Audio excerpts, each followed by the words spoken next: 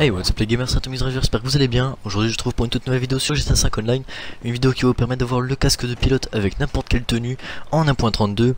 Donc alors tout d'abord vous devrez avoir un yacht ou le yacht d'un ami, vous devez vous équiper d'un hélicoptère, donc n'importe lequel tant que vous pouvez avoir le casque de pilotage. Et vous devrez tout simplement poser l'hélicoptère euh, dans la piscine, en fait dans le jacuzzi. Donc alors c'est un peu la galère avec cet hélico là.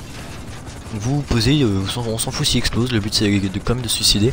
Donc voilà, vous descendez de l'hélicoptère et vous vous suicidez. Donc comme dans la vidéo, voilà. Et là quand vous allez réapparaître, vous aurez euh, le, casque de pilotage. Donc voilà, c'est un glitch très simple et très rapide. Vous pouvez le sauvegarder, vous pouvez le mettre sur n'importe quelle tenue, ça marche avec tous les vêtements. Et euh, euh bah voilà, c'est tout. Donc voilà, n'hésitez pas à vous abonner, à liker et à partager avec tous vos potes. Vous pouvez également rejoindre mon crew, c'est le What the Cave Gaming, on vous aide à faire du pognon, de l'RP et, euh, et on se tape du bon délire.